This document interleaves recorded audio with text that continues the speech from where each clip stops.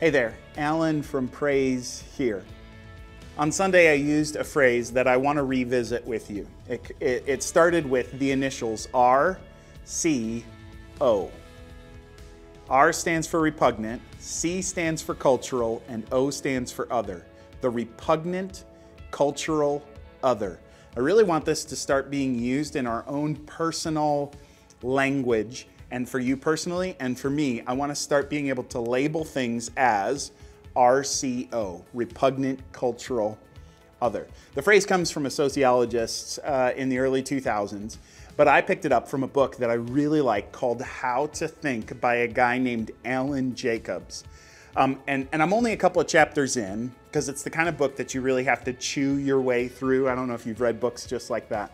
But um, he uh, uh, I, I have, has developed enough trust with me that I feel like I can recommend the book. In fact, I, I, I think so highly of it that I'm going to be giving away a copy every single day this week. Today, I want to give away a copy. Here's how you can get one. Comment below how is it that you go to sleep every night?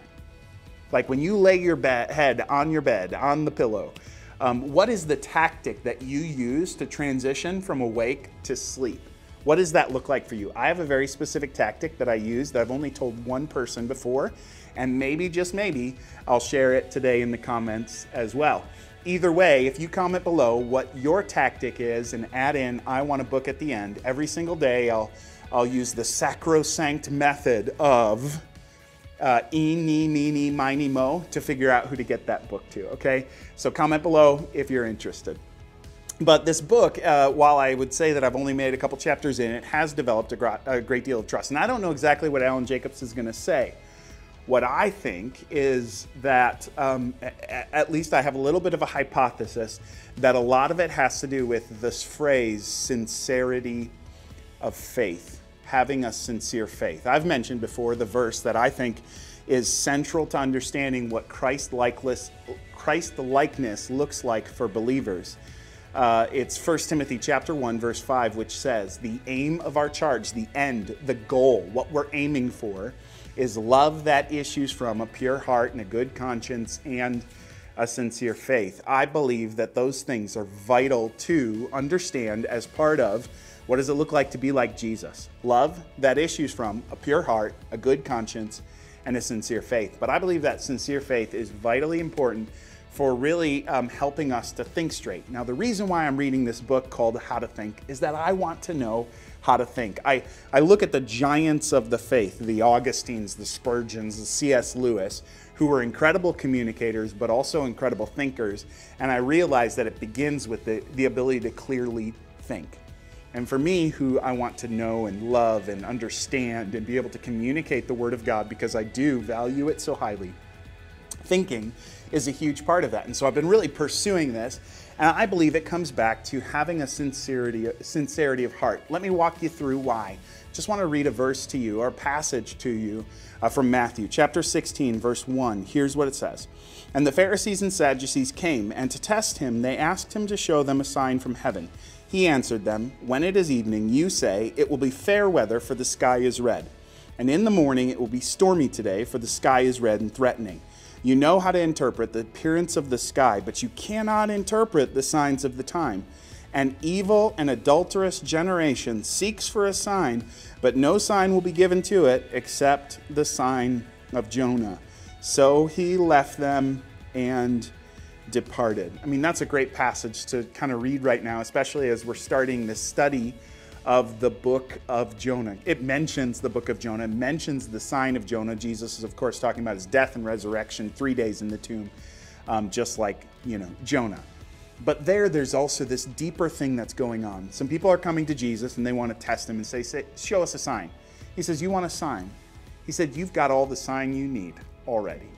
He said, Here's the issue the issue is you're, you're, you're able to interpret the sky, right? If you see storm clouds in the sky, you know it's going to rain. Now, I'm not a meteorologist, but I'm assuming that what Jesus says here is right. That the red's the sky's red and threatening in the morning, it's going to storm, right? He says so you can understand that if this if there's clouds that are storming in the sky or thundering in the sky, you know it's going to rain. You know it's going to be stormy. He says you have the I look and I see there's storm clouds. I know it's going to rain. He says, but you've got an issue. Because you know that if somebody does miracles, they must come from God, right? I do miracles. But you won't assume or accept the fact that I come from God. He says you can think logically because you look at the sky and you get it and then you make the conclusion, but you can't do that with me. Why is that? And he gives us the answer when he says that they have adulterous hearts. They can't see Jesus because they don't want to see Jesus. The problem is they were adulterous. You don't want to see him for who he is. It's an insincerity of faith and it keeps you from it. And I believe that's a dangerous place to be. I also believe that RCO, the, the idea of positioning somebody as the repugnant cultural other, is a way that divorces our heart and mind, right? So if I can make you think that the person who's bringing a message to you is the repugnant cultural other, then you don't have to even examine their message. You can divorce based on how repugnant I can make them seem. Everybody does this to you on a regular basis. Even in the last week, this has been a battle for me. I have caught myself regularly falling into this very human trap of trying to demonize the other side, to, to um, villainize just to the extreme those who do not agree with me, so that I don't have to examine their message. And boy, that's dangerous. I believe it leads to insincerity of faith and ultimately could even lead to an adultery of faith. Oh, friends, we need to be those who walk the path well because it's a narrow path. And so that takes effort, it takes diligence, it takes sincerity of faith. Boy, start catching yourself when you start referring to people or thinking of people who disagree with you as the repugnant cultural other. Because, listen, I love you and I want better for you. Hear me on that.